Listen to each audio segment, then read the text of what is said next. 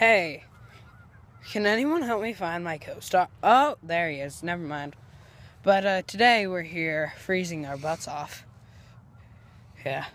Don't believe me? Shut up, stupid Do you, do you think that we're in a warm place?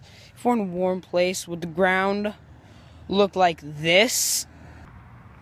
Seriously, people, would the ground look like that if we were in a warm place?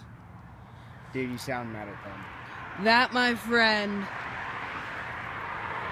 is frost. Lewiston, Idaho during the winter gets cold. You just told Cold. them where we lived. Ah, but Ye- that's town, but not the exact location.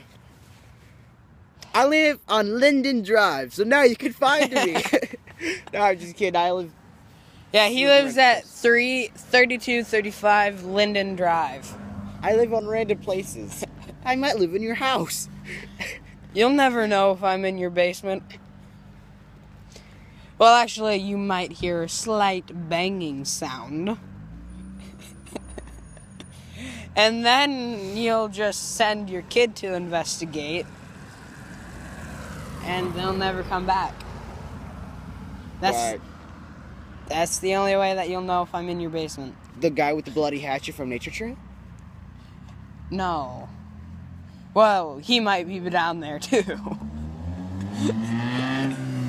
yeah, I think I saw him. He's he's on the north side. I'm on south side.